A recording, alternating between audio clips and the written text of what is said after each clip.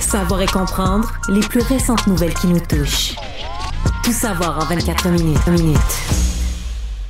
On fait le tour des unes de presse avec Marianne Bessette. Salut Marianne. Salut Alexandre. On commence avec le Journal de Montréal. En une du journal, on parle encore de dépenses. Mhm. on, tu te souviens, en juillet dernier, on a appris par un dossier du journal euh, qu'en fait, on nous révélait que l'ex-PDG de Port Montréal, Martin Beau, il est allé un peu fort là, dans les dépenses luxueuses pendant ses nombreux voyages. On prenait l'exemple, par exemple, d'une chambre d'hôtel à 1000 dollars la nuit, rien de moins, des vols en classe affaires à 8000 dollars et un souper avec 100 dollars de tequila. Bref, aujourd'hui, euh, grâce à la suite de ce dossier d'Annabelle B dans le journal, on apprend que l'agence fédérale présentement est en train de faire un grand ménage pour se doter justement d'une nouvelle politique de dépenses parce que on a découvert des frais de voyage et de repas qu'on peut qualifier de discutables d'au moins deux autres vice-présidents. On dit que les dépenses de certains VP et de l'ex-PDG Martin Beau a suscité beaucoup, beaucoup de malaise à l'interne dans les derniers mois, selon nos informations.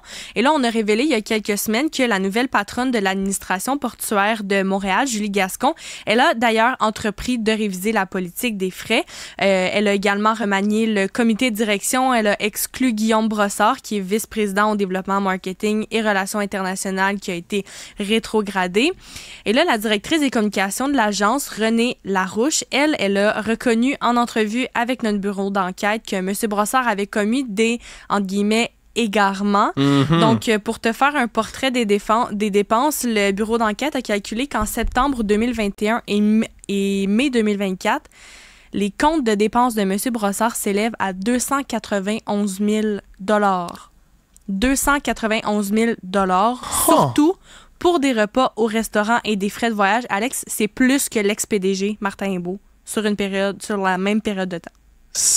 Écoute, moi, ce qui me fait le plus rire dans des histoires comme celle-là, c'est que là, là, on est en train de faire un ménage. On reconnaît des égarements. Bon, c'est un beau, c'est un très beau mot, ça, pour dire on s'est égaré dans l'argent. Oups, ils ont trébuché, ils ont échappé plein de perdiens. Mais non, tu sais, c'est, c'est, c'est encore une fois la preuve que le travail journalistique sert à quelque chose. Notre collègue Annabelle Blais, laquelle on va s'entretenir d'ailleurs plus tard au cours de l'épisode, euh, a fait un travail tellement remarquable avec ses collègues du bureau d'enquête pour creuser, pousser là-dedans. Ça, fait juste montrer que tant qu'il n'y a personne qui s'en occupe, tant qu'il n'y a pas de travail journalistique qui est fait, qu'il n'y a pas personne qui ouvre le cap, qui lève le capot du char, il y a, il y Tu a vas pas la il fumer y a personne. Ben non, ben non. Puis ils vont pas changer leur pratique.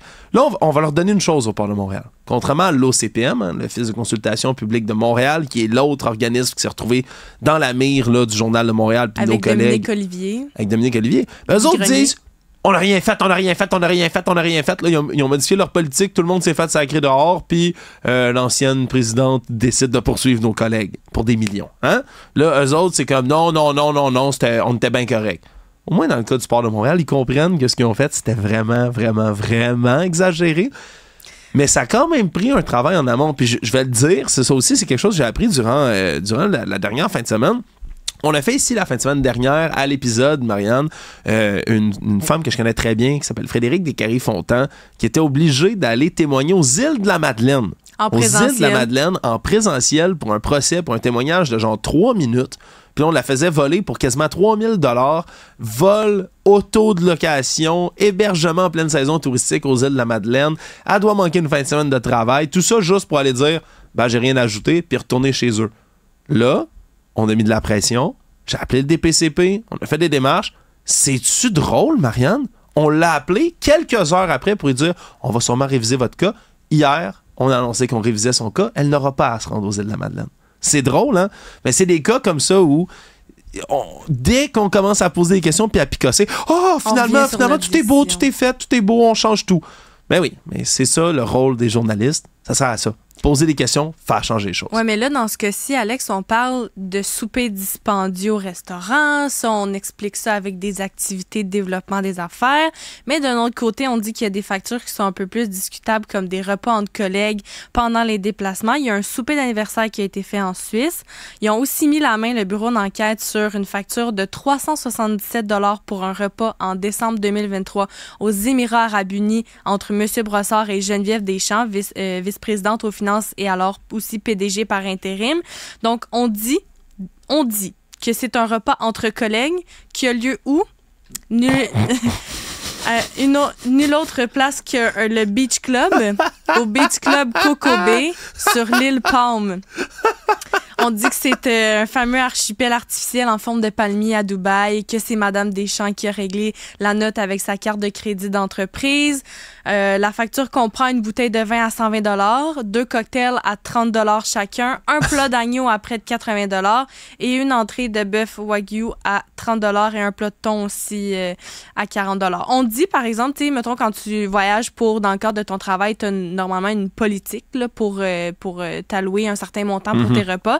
Donc là, on dit que le port est doté d'une politique d'allocation pour les repas avec des indemnités journalières euh, pour justement limiter les dépenses, mais l'organisation a reconnu que cette directive-là était floue.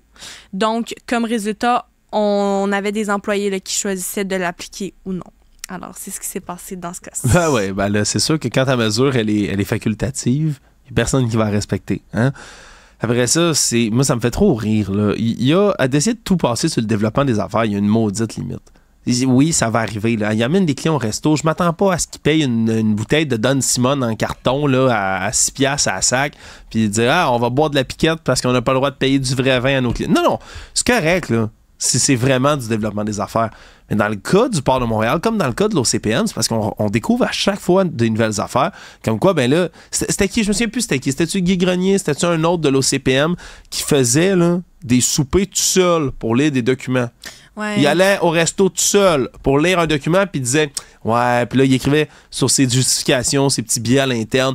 Bah oui, je devais aller lire ce rapport, et donc ça justifiait que j'allais m'acheter une bouteille de vin tout seul, puis je me paye un, repas au resto. C'est ça, mais Pardon! commande-toi du chinois si tu veux vraiment mettre quoi sur la carte de crédit de l'entreprise, puis fais ça au bureau. Fais ça chez vous, dans ton salon. Non, j'ai besoin d'aller à une excellente table de restaurant pour lire ces documents. Tu sais, je m'excuse, là, c'est rire du monde. Puis dans le cas du port comme ça, de dire oui, c'est une belle petite réunion d'affaires, c'est juste du monde du bureau Beach Club, s'il vous plaît, là, les drinks à 30 c'est assez. Là. Regarde, sérieux, c'est rire du monde? Bravo à nos collègues, sérieusement, du bureau d'enquête pour faire un travail comme celui-là. Dès qu'on commence à lever le capot pour regarder ce qu'il y a en dessous, ça devient lève vite. En 24 minutes. Euh, dans, un hier en fait on apprenait par une compilation du journal qu'il y a pas moins de 25 bambins de moins de 5 ans qui ont malheureusement perdu la vie dans des piscines résidentielles au cours des quatre dernières années au Québec. Et là ben, aujourd'hui on se penche sur les aînés qui euh, eux autres aussi peuvent se noyer. C'est un article d'Élisa Cloutier. On rapporte que la baignade seule c'est la cause la plus importante de décès par noyade dans des piscines résidentielles chez les personnes âgées de plus de 65 ans et ça depuis 4 ans. Hmm. Donc, sur plus de 70 décès qui sont dus à une noyade dans une piscine résidentielle au Québec, il y a 40 qui touchent des personnes âgées de plus de 65, de 65 ans, ce qui correspond à près de 60 comme je te disais. Donc, on dit qu'en majorité aussi, les personnes étaient seules dans les piscines résidentielles ou elles se, elles se tenaient euh, près d'un plan d'eau pour, par exemple, effectuer des travaux, ont subi un malaise et là, par la suite, ont tombé par la suite dans, dans, dans le plan d'eau et se sont noyés. Euh, il y en a d'autres qui se trouvaient dans la piscine de leur centre d'hébergement ou de leur immeuble à condo euh, au moment du drame. Euh, donc, il y a une compilation qui a été faite par le journal et, c'est ce qui est vraiment ressorti le plus. Euh, ben, on connaît tous Renald Dawkins, le directeur général de la Société de sauvetage du Québec, qui hmm. dit que, par exemple, une personne qui a une défaillance dans la cuisine, elle va tomber puis on va la retrouver. on va, elle, elle, peut continuer à respirer parce que ses voies respiratoires sont dégagées, mais là, si elle tombe dans une piscine, il euh, y a une asphyxie qui se produit parce qu'il y, a personne pour faire le 911, pour tenter de la secourir. Euh, souvent, ils vont peut-être se retrouver la tête dans l'eau, peuvent plus respirer. Donc, euh, c'est pour ça que tout près des piscines, c'est plus, c'est plus dangereux. Et selon les nombreux rapports d'enquête qui ont été consultés par, par le journal aussi, on dit que les, causes de ces malaises-là, c'est souvent des crises cardiaques, des AVC, des, des, des, syndromes, des embolies pulmonaires. Donc, c'est vraiment ce qui est mis aujourd'hui en lumière là, dans, le, dans le journal de Montréal. Ouais, c'est des rappels qu'on a à chaque été là, de faire attention autour des plans d'eau, puis on va avoir besoin de les faire pour tous les étés, pour toujours, je pense. C'est un, rappel qui est constant. L'eau, c'est dangereux. On peut se noyer dans l'équivalent du bol d'eau de votre chat. ça, prend 4 secondes. Ça prend 4 secondes, ça prend eh, pour vrai quelques, quelques millilitres d'eau pour être capable de se noyer. faut faire attention. Puis après ça, pour les jeunes, on a beau changer les, les habitudes, changer les réglementations pour les piscines, pour devoir mettre des clôtures autour pour mieux protéger. Ça change pas que les accidents domestiques dans sa propre piscine, que ce soit les jeunes ou les plus vieux, comme tu viens de le dire, c'est un phénomène qui continue d'arriver. Donc c'est pas c'est pas juste en allant en bateau sur le lac Champlain que euh, on doit faire attention puis mettre euh, sa ceinture de sauvetage. On met pas de ceinture dans la piscine chez nous, mais si on est à risque, si on est, c'est juste d'avoir quelqu'un pas loin. Si vous êtes capable d'avoir quelqu'un pas loin, ou si vous baignez, allez pas dans le creux tout de suite, par exemple, si vous êtes tout seul, il y a juste des, précautions à prendre. Puis toujours se souvenir qu'un plan d'eau, c'est il y a toujours un danger même si on veut relaxer, regarder notre piscine, c'est bien beau, puis qu'on sent en confiance, il y a toujours un danger qu'un plan d'eau qui est là. faut en être conscient. Savoir et comprendre, tout savoir en 24 minutes. On n'est jamais au bout de nos surprises avec euh, Donald Trump, Alex. Hmm. Euh, et là, je te, je te, vois sourire parce que l'amateur de théorie du complot en toi euh, sourit à, à, ça. On apprend en fait dans le journal que Donald Trump pense que Justin Trudeau pourrait être le fils de l'ancien dictateur et révolutionnaire cubain Fidel Castro. En fait, c'est ce qu'il a dit en entrevue en direct avec un des influenceurs américains les plus populaires, Adin Ross. Euh, on dit que Adin Ross, son public est quand même constitué d'adolescents, de, jeunes adultes. Et là, ben, ce qui s'est passé, c'est que Adin Ross a fait une genre de, des questions à rafale, là, puis demandait l'opinion de M. Trump sur des personnalités mondiales comme par exemple Elon Musk, euh, Xi Jinping, euh, Kanye West. Et là, ben, Justin Trudeau est arrivé là-dedans. Et là, ben, lui a répondu à ça qu'il s'entendait bien avec, mais qui est devenu très progressiste. En fait, on dit que c'est le fils de Fidel Castro. Et ça pourrait être vrai. Tout est possible dans ce monde. C'est ce que Donald Trump a dit. Et je savais pas, puis je suis curieuse d'avoir ton, ton, ton pouls là-dessus. C'est, l'idée, l'idée en fait que Justin Trudeau est le fils de Fidel Castro, c'est l'une des théories du complot les plus répandues à propos de notre premier ministre. Ben, c'est la plus répandue sur Justin Trudeau, dans tous les cas, qu'il vise directement à lui. Ouais, puis depuis longtemps. Et regardez les images, on les rediffuse encore, puis je m'excuse, c'est un, tweet d'Alex Jones, hein, personne horrible et horripilante sur Internet, le complotiste notoire euh, euh, de, tout acabit, mais c'est vrai que sur les photos, il, ressemble, il ressemble, jeune Fidel Castro ressemble beaucoup à Justin Trudeau. Mais c'est pas parce que tu ressembles à quelqu'un que t'es es automatiquement son fils ou son sosie ou son clone ou ci ou ça. Puis ça, c'est une lubie des, complotistes qui, revient constamment. Dès que tu vois une coïncidence, tu te dis Ah ben mon Dieu, c'est sûr que c'est un lien. Mais non, les gens peuvent se ressembler dans l'histoire. Tout le monde a ça, des doppelgangers, comme on appelle, là, des gens, des sosies. Des sosies. Des personnes identiques, un peu partout. Dans sa planète, des gens ressemblent à des célébrités, des gens ressemblent à une autre personne. Des... Ça veut pas dire à chaque fois que c'est le fils ou le frère de l'un puis de l'autre. Pourtant, cette théorie-là, elle revient constamment.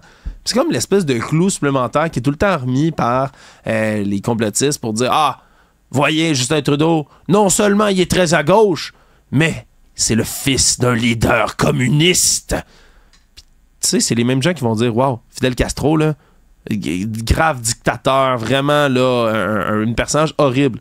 Je rappelle que les questions à rafale qui ont été posées à M. Trump par Adam Ross, il a demandé qu'est-ce qu'il pense de Kim Jong-un, qui est le dictateur de la Corée du Nord. Vous savez, le pays le plus répressif sur la planète Terre. Vous savez, le pays dans lequel, si vous commettez ce qui est considéré comme une trahison, c'est-à-dire à peu près n'importe quoi contre le régime, on vous tue non seulement vous, mais c'est camp de concentration pour toute votre famille élargie. Pour être sûr qu'il n'y ait jamais personne, jamais personne qui veuille se rebeller contre l'autorité parce qu'on tue ou on, on, réduit en esclavage l'entièreté de ta famille. C'est un beau pays, n'est-ce pas? Où personne n'a aucun droit humain, personne ne peut rentrer. Ouais, fantastique pays. Le gars qui dirige ça, qui tue des milliers de personnes chaque année, mais Donald Trump dit que c'est un gars fantastique avec qui il s'entend bien encore mieux qu'avec Justin Trudeau.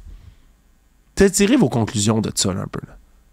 Il y a un gars qui va être président des États-Unis, qui arrête pas de crier sur toutes les plateformes, qui admire les dictateurs, qui les trouve bons, qui les trouve beaux, qui les trouve fins. Est-ce que Donald Trump pense vraiment que Justin Trudeau c'est le fils de Fidel Castro? Ben non. Il n'y a aucune chance qu'il pense ça pour vrai. Mais il répète, puis il dit pourquoi?